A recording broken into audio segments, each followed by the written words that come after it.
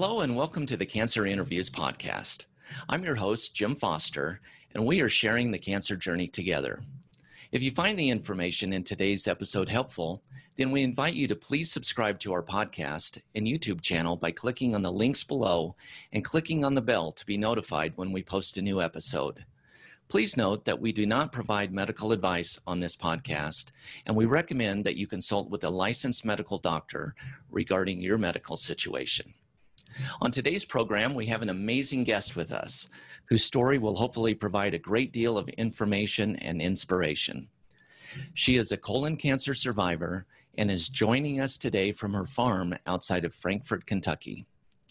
She has enjoyed a long career in public service and has served under seven different governors in the great Commonwealth of Kentucky and ultimately served as the 56th Lieutenant Governor of Kentucky. So please join me in welcoming the Honorable Governor Crit Luallen to the show. Crit, welcome to Cancer Interviews. Thank you, Jim. It's great to join you this morning. Well, we're very glad to have you, and thank you so much for being here and taking time out of your busy day to share your story with our audience. And if you're ready, let's get right to it. Sound good? Sounds great. Okay. So, Crit, before we get into talking about your cancer journey, why don't you take a few moments to tell us about yourself, like where you're from, what your life was like growing up, what your interests were, and what your work was prior to your cancer experience?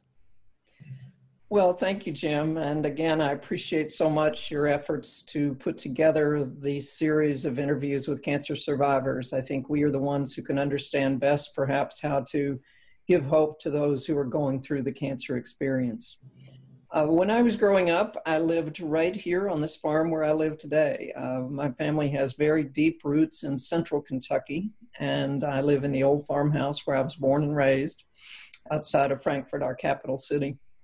And I had five older brothers, um, which I think helped me when I got into the political arena later because it never occurred to me there wasn't anything that I couldn't do that those boys could do. So uh, that that uh, gave me perhaps some training uh, as I entered politics. Um, I went to Centre College, which is a small liberal arts school here in Kentucky, and then I began working in political campaigns initially, and ultimately evolved into public policy positions. I served with seven Kentucky governors throughout my career.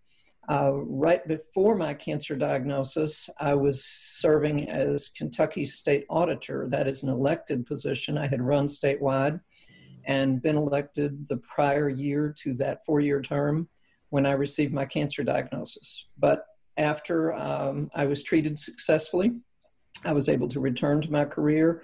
I never stepped down from my job. I kept working and later um, served as lieutenant governor of Kentucky. And now I am retired and serving very actively on a number of boards and also involved in a lot of political campaign work on behalf of candidates.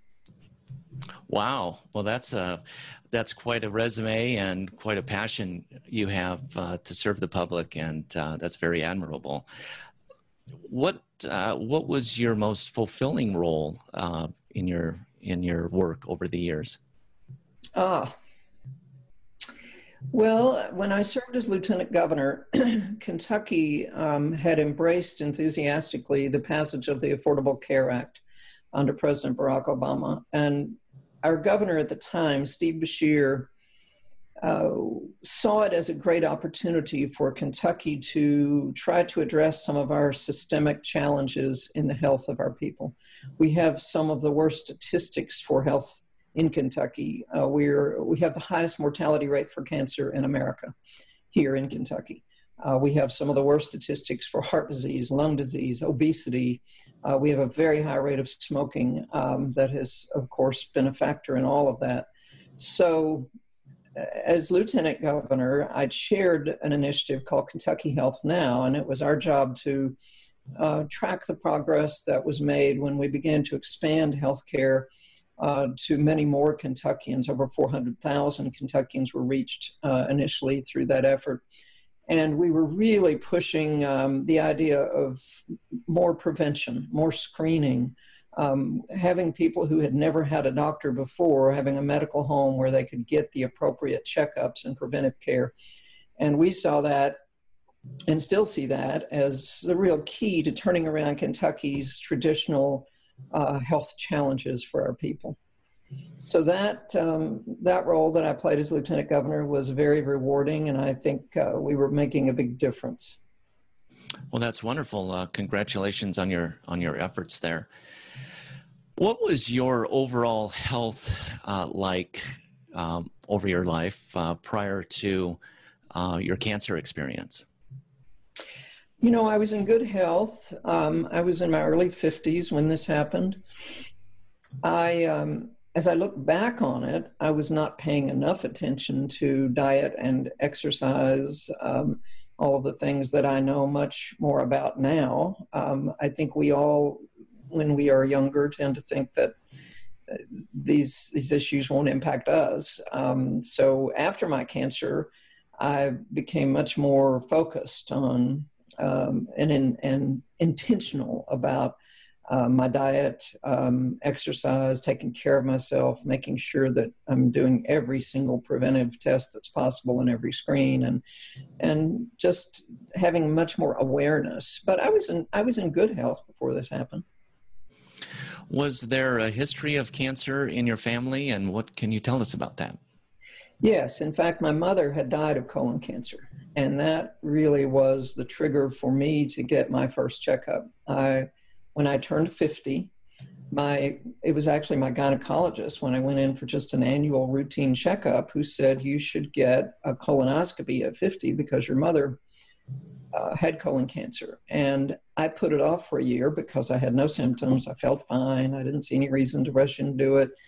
And when I went back the next year for another checkup, she said, You have to get a colonoscopy. You're very high risk because of your mother's um, having the disease. So I did that. I went in for a colonoscopy. I had no symptoms. Uh, it was a routine screening, and they immediately found the cancer.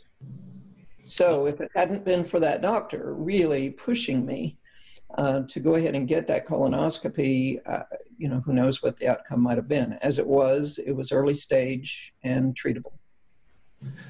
So, um, taking those tests and advice of the doctor and uh, led to early detection, which might have otherwise not been detected for some time after that. So, that's very important. And uh, I know a lot of us um, tend to put those tests off and and so forth. Um, so you didn't have any symptoms. Uh, the test came back with some results that led to what was the next sequence of events that led uh, to your actual diagnosis?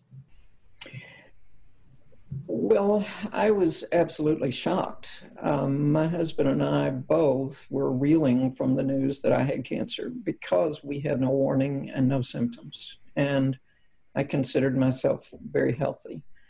Um, we were immediately referred to the Markey Cancer Center at the University of Kentucky, which is a nationally accredited cancer center here. And thankfully, I was able to uh, have a team of doctors at the Markey Cancer Center uh, who then um, worked with us on a schedule of treatment and um, it was very um, helpful to be close to home. When when my mother had colon cancer, she died in 1986, and at that point in Kentucky, everyone said you have to leave the state for treatment. We don't have the skills here to treat you successfully. So in my mother's case, we were back and forth to the MD Anderson Cancer Clinic in Texas uh, for over three years prior to her passing away. Um, now in Kentucky, we have an outstanding cancer facility at the University of Kentucky. We have another one, the Brown Cancer Center at the University of Louisville. And that's a real positive development for the people of Kentucky because we can receive top notch care here locally. Um, so I, I went, I had surgery um, and had a colon resection uh, that was um, successful in removing the tumor. Okay. So when you found out your husband was with you and you felt confident in your doctor uh, and the diagnosis and the, the proposed treatment, did you pursue any additional opinions or did you feel 100% confident with uh, your medical team that you had in place initially?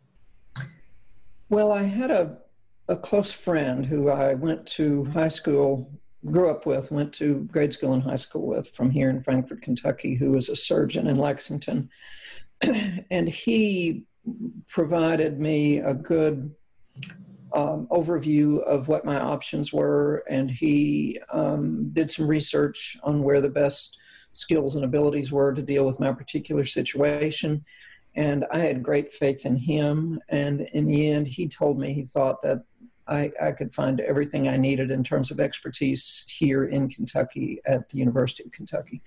So um, I was fortunate because I had someone who did some of that groundwork for me. Um, if I had not had confidence in him, we certainly would have looked around on our own and gotten some second opinions, perhaps. But in that case, I had a very good, trusted friend and doctor who who helped me make the final decision to pursue my treatment here at the Markey Cancer Center. Well, that's great. It's uh, one of the most important things, in my opinion, is to have confidence in your doctor and your medical team. And you're very fortunate to have that uh, long, long time friend uh, and colleague to uh, to guide you through that. Um, so, the uh, so you were you were with your husband when you found out. Did you tell your friends and family right away, or what was that process like? Well, that was an interesting process because at the time I was serving as state auditor, which is an, uh, an elected position, statewide constitutional office. I had just run a statewide campaign the year before I'd had television advertising and traveled all over the state and spent a year running for office. So I was highly visible and I was serving in a position of trust um, on behalf of the voters of Kentucky. And we decided that we had to make my medical diagnosis very public because we didn't want it to look as if we were hiding the information from the public or we didn't want rumors uh, started that were not accurate about what my uh, prognosis might be. Um, so, you know, in politics, I've, I've learned over time it's best to be as transparent as possible. So, we actually did a press release that laid out the details of exactly what my diagnosis was, what my prognosis was. We had a quote from my doctor in it explaining um, our path forward. And uh, that was. Um, that was difficult, I think, for my family, my extended family. My husband and I, before the press release went out, my husband and I had to divide up a long list of of relatives and call everyone and explain it personally before they saw it in the newspaper. And um, that was difficult. Um, you know, one thing I've learned over time is we still have a stigma involving cancer that I think we all have to work to overcome. Um, in, in, my mother's generation, she didn't get the proper checkups and, and have the proper preventive care because she was afraid to know if she had cancer because to her to her generation it was considered a death sentence and now we know so much more about it um, and and that's why I think we all need to be transparent about our our situations and talk to people openly about it I remember one relative when we made all the phone calls telling them uh, that this had happened, this diagnosis had been made, and we were about to release it to the press. One relative said to me, Oh, do you have to tell people? And I said, Yes, we have to tell people. And she said, Well, they'll all think differently of you now. Hmm. And I think that speaks to the stigma that surrounds cancer. And I think we all feel that when we get this diagnosis, that people feel great sorrow and pity for us, but they don't know exactly how to talk to us. They don't know what to say. They don't know what the right thing is to do to help us.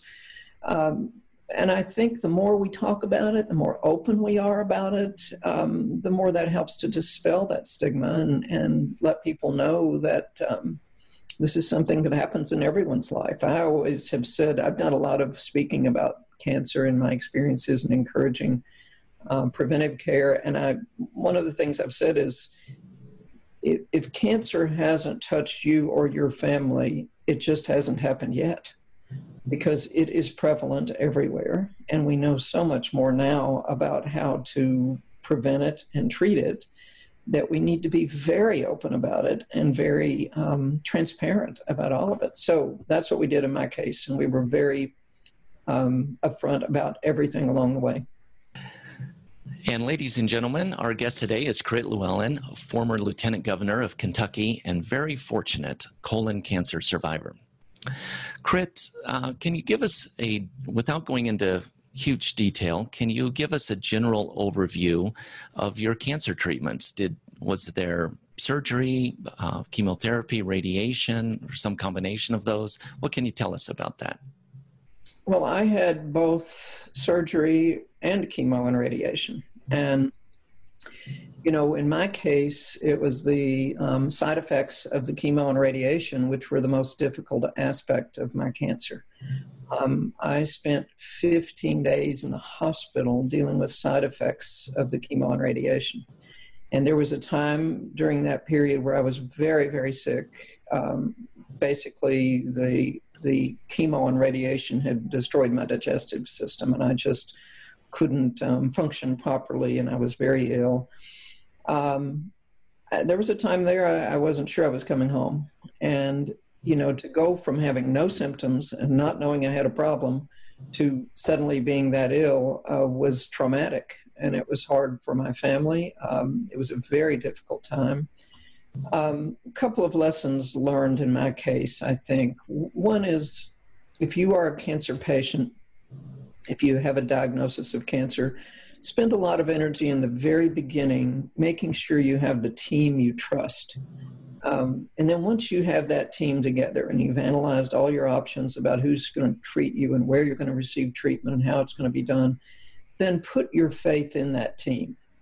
Um, I know in my case, I'm I'm sort of a take charge, want to boss people around type personality, and I had to put that aside and put myself in the hands of my medical team, and just focus myself on staying positive and hopeful. And that's my other significant piece of advice: is don't ever think that there's not a direct connection between your mental health and your physical health if if you are positive and hopeful and focused on the future, it really does help you fight this. And uh, the, the more you can keep your thoughts focused on the potential um, beyond the disease, to to envision the things you'll do and the places you'll go and the the children and grandchildren you'll spend time with when this is over, and not fixating on the terrible anxieties and fears that are so difficult to, to battle every day. It really does help you get through it, and it helps your family get through it if you can stay as positive as possible. Sometimes I think these cancer cases are harder on the caregivers than they are the patient. We know how we're feeling and what we're going through, but our spouses and partners and immediate family all are terrified for us and don't know what to do to help. And anything we can do as patients, I think, to stay as positive as possible, it really helps the whole situation. So true. Uh, so true. Now, uh, you mentioned caregivers. Uh, was uh, was your husband one of your caregivers, or what? Can he you tell us briefly primary, about that? He, he, was my primary caregiver. He took great care of me. Um, and uh, we have grown children. Um, everyone was very helpful, but uh, my husband was right there beside me, and I think that is a key to um, to recovery is is being sure that your spouse is in, involved and engaged in every discussion with the medical team so that they understand and know what what's going on and why and uh, can be as supportive as possible. Um, because that uh, you know i have friends who don't have immediate family who've who've gone through cancer, and it's so much more difficult when you don't have not just the the physical support and the care, but the emotional support of having someone you can share it with and someone you can talk to about it and and share your deepest fears and concerns. So. Uh, I think every cancer patient needs to identify who are those people who are closest to you, who are emotionally connected to you in ways where they can share this with you and you're not alone. I totally agree. That's that's very important. Now, uh, did you undergo your treatments in or near the town that you lived in, or did you have to travel? And what was that like? Well, I, I live about 30 minutes from the University of Kentucky Markey Cancer Center. So I was very fortunate in that regard. I was able to go in, um, drive over easily for my treatments. Um, so when I would have chemo, we would drive in and spend the day there uh, having infusions. Um, when I was doing radiation, I would drive in for treatment. Different friends and family took turns taking me um, because I wasn't feeling well once it started. Um, and then, as I mentioned, I spent 15 days as an inpatient um, inpatient uh, room at the hospital because I had such severe side effects. So we were fortunate that it was close um, because, as I've mentioned, when my mother was um, uh, diagnosed with colon cancer, we were traveling back and forth to Texas from Kentucky, which is not a simple task. We have to go through Atlanta by plane and lots of trips back and forth. Um, so I think that that is one of the biggest challenges. If you can get your treatment close to home, it ensures that you not only don't have the hassle and the challenge of travel, but you also are surrounded by your network of family and friends who can provide support and encouragement. And uh, in my case, that was extremely helpful. In my mother's case, when, when I took her to Texas the last time we were down there, we spent three months uh, dealing with her chemo treatments and her side effects of that. And we were totally isolated from her network of family and friends. And she was um, 72 years old and had a lot of wonderful extended family here in Kentucky. So in the end, we brought her back home on an ambulance plane because she didn't want to die there away from all of her people who cared about her. I certainly understand, and, and some of the small things you can be thankful for that, that you were able to undergo your treatments nearby. So, um, some of the, the silver linings, I guess. Um, the I know when I was first diagnosed with cancer the first time, um, not only did I feel all alone, even though my parents were there and so forth, but one of the big fears, other than hearing the you know the diagnosis was am i going to lose my hair? And uh, i did both times even the second time around uh, due to the chemotherapy. It grew back and uh, but our audience often wonders uh, i know that's a big anxiety for a lot of people and do you mind if i ask if if your hair was affected by your treatments? Well i lost a lot of my hair but not all of it. I got very skinny hair. it became very thin and scraggly. Um, and then I wore my hair longer. I think women in particular have a lot of identity with their hair. Um, so I was not as affected as some people are. Um, my mother lost all of her hair and, and took great pride in the array of wigs that she uh, that she acquired. Um, in my case, I was fortunate; I didn't lose it all but it is it is a source of anxiety for us all i think as cancer patients because our hair is part of our identity. And it's it's one of those pieces of cancer that there are so many parts of it that make you feel like you're no longer in control of your life. And that is one piece of it that is such a highly visible aspect that i think is really troubling to people. And um, I, I, think you you add that to the list of things you have hope about. Um, some people's hair grows back better it comes back curlier or it comes back thicker or you don't know what the future might hold but i tried to stay as positive about that as i could even while it was falling out in my hands as i took a shower. Sure sure. Uh, what what was the lowest point uh, you experienced during your cancer uh, journey? Well, I think it's when I was in the hospital dealing with the side effects of the chemo because they were having a very hard time getting those reversed, and I I began to feel my health was deteriorating in a way that I might not be able to recover. And as I mentioned, that seemed so shocking when I had not been sick or had any symptoms before all this started. Um, but my husband stayed very close to me through all of that. He, in fact, we we were planning a, a trip to celebrate our 25th wedding anniversary when all this happened.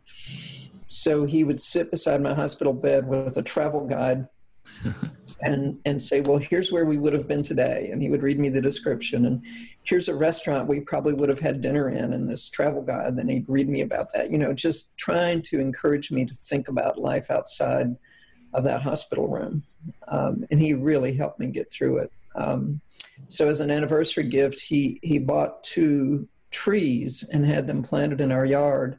Oh wow! And they were very small trees, and he said these you're going to be home to watch these trees grow into full adult sized trees. That will happen. Oh, you that's know, amazing. Little things like that to keep you focused on the future.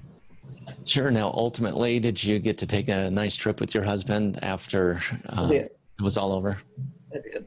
It is very important to have something to look forward to and, and to set a goal. I um, can totally vouch for that. Um, I had a physical therapist that would uh, come in uh, quite frequently, and he became a, a good friend. And, and, later, he passed away from cancer himself, which was unfortunate. But uh, he came in and told me that uh, we were going to play golf together someday, and uh, he he would say that every time he saw me, and and we did eventually. So it was it was a real nice treat to have something to look forward to and um, and set and set a goal like that um, for yourself.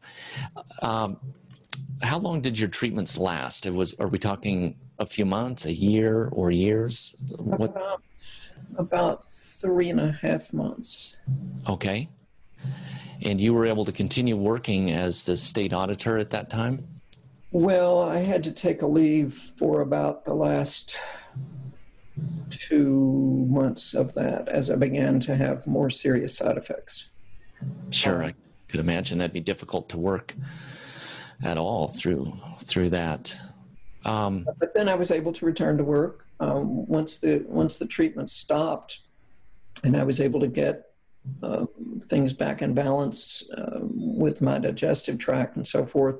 I was um, I recovered pretty quickly because it was not advanced cancer that was causing me to be so sick. It was the side effects of the of the treatment. So I was able to return to work, and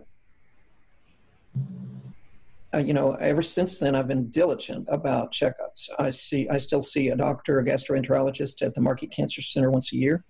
Um, I do a colonoscopy now every two years. I'm due for one right now. In the next few weeks, I have one. Um, and I do every other screening I can get. I do a mammogram. I do bone, bone density tests. I, I do uh, pap smears. I do everything that my doctor recommends because I I'm a walking, living example of the value of early screening, especially for colon cancer. Colon cancer is the one cancer that we can actually prevent through proper screening. If, if a colonoscopy finds polyps in an early stage, they can remove those before they become cancerous. And if we can just encourage more people to see that, the value of that colonoscopy, even though it's it's distasteful and it's embarrassing to talk about and people don't like to think about it and all of those things just do it you know it's so important well, you're. I'm 53, and uh, my doctor's been bugging me the last uh, three years about that. And damn, you've got to go do that. I'm going to, and I, um, I know even I'm probably more um, uh, at risk than other people having having had Hodgkin lymphoma uh, twice, and um, so you're you're going to put me over the edge here, Crit. I'm I'm going Good. in. Good. So thank you for that encouragement. The uh, one last thing on your on your uh, cancer part before we talk about what you're doing today. Uh, what was it like the moment that you learned that your cancer was in remission? What was that like?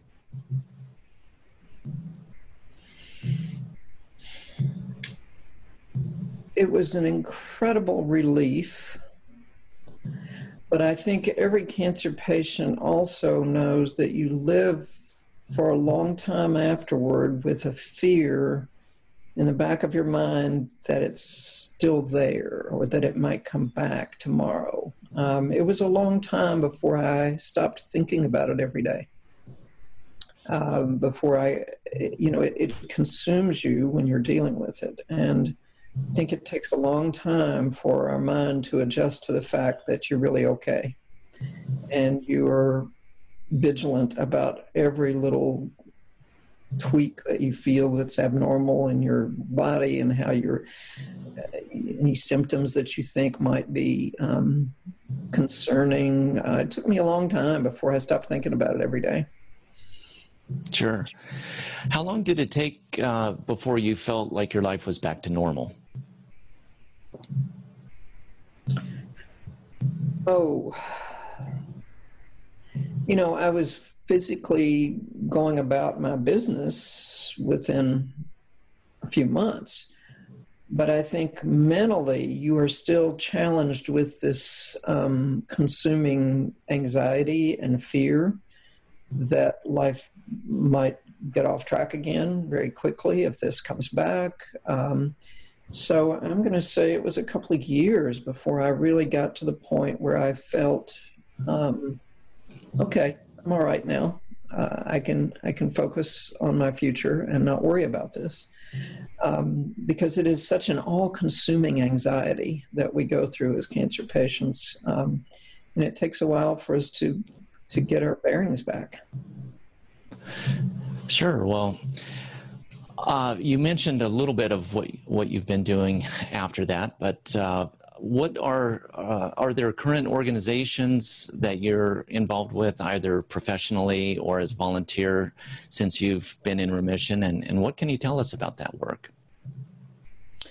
Well, the one effort I've been involved in that's directly related to this is the Colon Cancer Prevention Project here in Kentucky. Um, Dr. Whitney Jones from Louisville uh, founded and initiated that effort, um, and I joined with him and served on the board starting, oh, maybe three or four years after my cancer. Um, so that's been 12 or so years ago. Um, and that effort has been very successful at trying to expand um, colon cancer screening to those who are uninsured and to spread the word about the value and importance of colon cancer screening. And in Kentucky, we took a major leap forward when we expanded health care here through the Affordable Care Act, as I mentioned earlier, because that extended insurance to another 400,000 Kentuckians. Uh, we still have a gap in Kentuckians who don't um, either don't have insurance at all or don't have coverage for colonoscopies. So uh, we've worked in recent years to get the state state government to fund um, a, a, pool of money that is available for local health departments to help close that gap for people who need colon screening but are not covered. Um, so I've been very active in that and just um, anytime I can, getting involved in public service discussions or interviews like this one to just help raise awareness about the value of screening and also to share from a survivor's perspective, um, some advice to those who are currently dealing with cancer. I'm also involved on several other boards. I'm on a, uh, my college, Centre College Board of Trustees, um, on the board of the state's largest philanthropic foundation, the James Graham Brown Foundation. I'm on a bank board. I'm on the board of our uh, State Historical Society Foundation. I'm on about five, six boards and also helping a number of um, candidates for public office, including in Kentucky right now, U.S. Senate candidate and a congressional candidate here in our congressional district. So I stay busy. Wow, that sounds like you're busier than before in many ways. So uh... I think that's true. I know people can learn more about you from your Wikipedia page, which is uh, very impressive, by the way. And uh, is that the best place for people to learn more about you and the work you're doing, or is there somewhere else you'd like to mention? That's probably the best. Um, Wikipedia is sometimes um, not entirely accurate because different people can make changes to it, but I think right now it's got a pretty good summary of my professional career. Wonderful, wonderful. And we'll have links uh, to those resources below in uh, the description and the show notes, and a link to the uh, colon cancer uh, prevention project that you mentioned as well. So, um, uh, before we wrap up here, Crit, uh, I have one final question for you. Imagine that you're speaking directly to someone that has just learned that they have cancer. What would you like to say to them? I would say to focus all of your energy into having hope and being as positive as you can possibly be first being sure that you have the right medical team that you can put your trust in, and then have hope and faith that you will get through this. And put yourself in the hands of that team and trust their advice.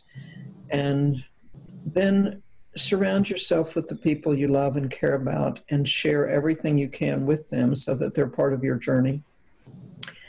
And really, um, be sure that that circle of, of friends and family who are close to you are part of your journey so that they can help you through it. Uh, you'll be amazed at the incredible warmth and love that come to you once people know and understand what you're going through. And um, look to the future with great hope and promise. Well, Crit, those are certainly words of wisdom. And it's been a real honor to have you on the show today. And I'm sure our listeners have, have learned a lot from you uh, by sharing your journey with us. I know I have. And thank you very much for coming on the Cancer Interviews podcast. Thank you, Jim. It's been an honor to be with you. You're welcome. And please take a moment and leave your comments below and take a look at the description and show notes below with links to all of the valuable information that Crit has shared with us today. And remember, you're not alone. We're all in this together, and we wish you the absolute best possible outcome with your cancer journey. So until next time, please take care, and we'll see you on down the road. Thanks for joining us today. For more information, please visit us online at cancerinterviews.com. We appreciate you tuning in, and we'll see you back here again next time on the Cancer Interviews Podcast.